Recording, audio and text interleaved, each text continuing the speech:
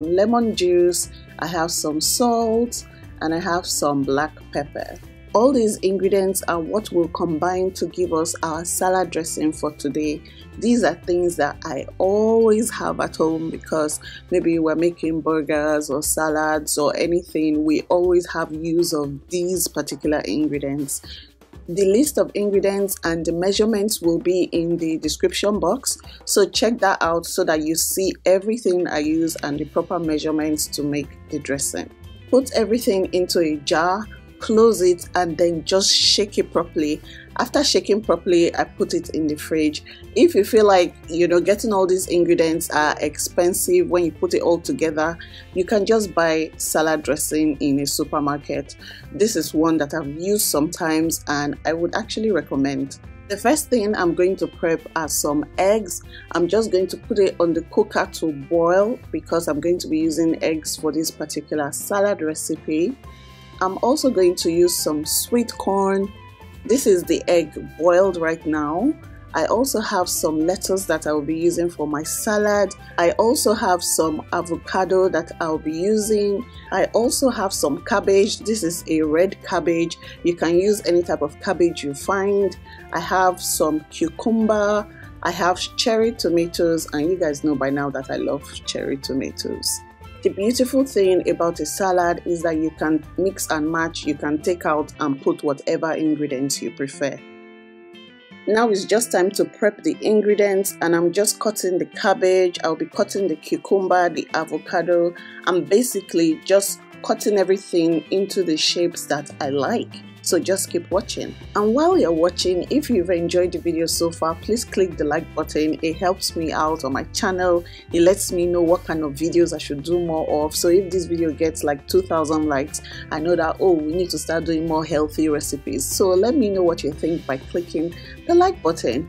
And if you are not subscribed I mean like what's going on? Click that subscribe button okay?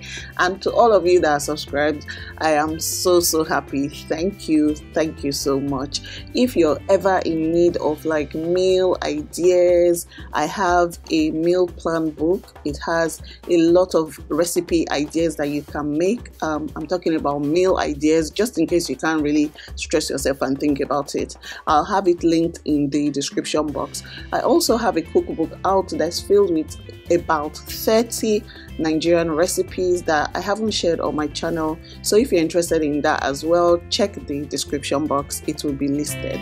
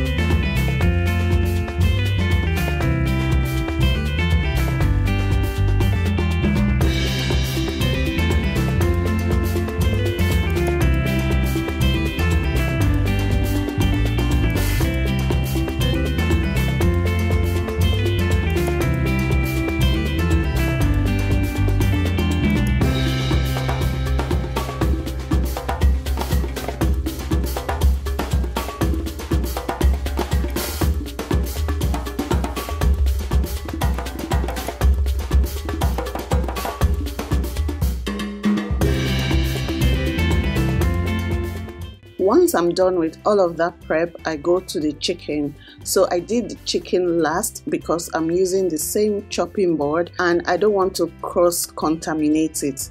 So that's why I'm doing the chicken last and I'm using chicken breast. I'm just deboning it. It is cheaper to buy chicken breast that still has the bone on than to buy chicken breast that has already been deboned. so that's why I'm doing the hard work now. I love chicken breast because it is so versatile. You can use it for so many recipes and I always have it at home. Now I'm going to season it with some ginger powder, some garlic powder, some chicken stock powder, some pepper, that's just cayenne pepper, dry pepper, and then I have some all-purpose seasoning and you guys i could not resist. You can skip this if you want but to add some color you can add some paprika or in my case I'm adding suya pepper because I really do love the flavor of suya pepper and it takes a lot of you know some meals to another level. So if you can't find suya pepper you can skip it. I know you are going to come for me. A lot of people oh like Susie I mean you will put suya pepper in everything. No not everything but some things I like suya pepper in them now I'm just going to put the chicken breast on a non-stick pan and fry on each side depending on how thick the cut of chicken breast is. It might take five minutes it might take less. So once it starts getting white at the bottom then that part is cooked and it is ready to flip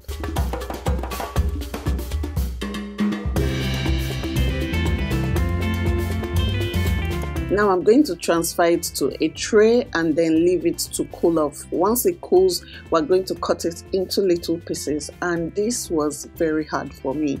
It was hard because I couldn't resist taking a piece I'm putting it in my mouth and this is so good.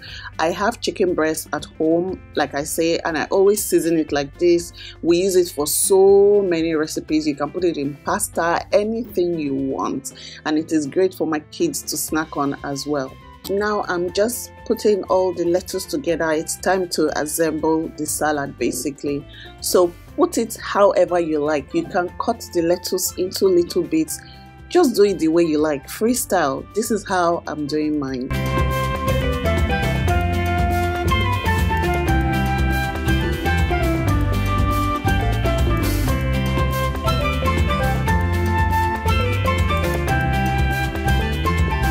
Once I've assembled, I'm going to add some black pepper and I always like black pepper straight from the peppercorns because then it is still potent and the flavor is just really really strong.